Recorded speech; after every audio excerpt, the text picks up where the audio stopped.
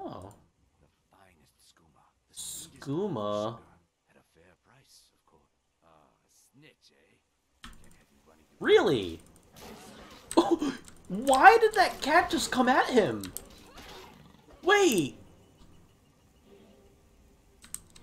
Wait, what?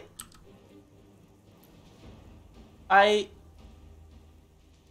So, like, he decided to fight me. And then, immediately when he decided to fight me, the cat just came running at him.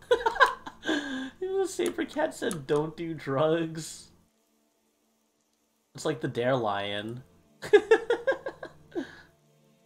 like, I didn't even mean to fight him. I was, like, legitimately curious. Like, I was like, isn't that illegal?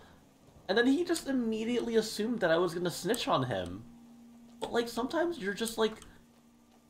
You're just a guy who got isekai'd into Skyrim, and you're like, I don't know what's legal or not. I don't know what Skyrim weed is. And then he just gets all on the defensive. Maybe I wanted to smoke a joint of Skyrim weed with you, sir.